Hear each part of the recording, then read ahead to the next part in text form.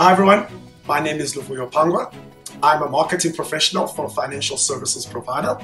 I'm also a student at the prestigious Henley Business School, currently doing my PG.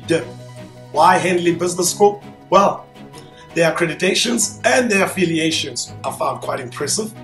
But what's been quite interesting is during my course, the structure and the curriculum has been really, really, really alternative, different, unique, and exciting.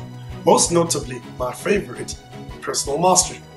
There is a saying that goes, before you change or master anything on this planet, you have to change and master yourself. And this module did that for me.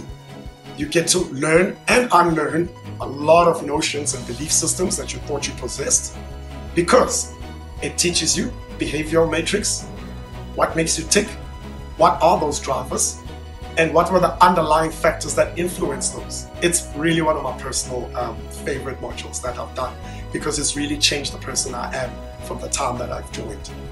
But what's also really cool is the group work, of course, because you get to integrate and learn from different people across different industries and sectors. So, whether you're looking to take that first step for your MBA, scale your career, or, well, you just feel like learning, I highly recommend you to join the PGDip at Henley Business School. Take it from me.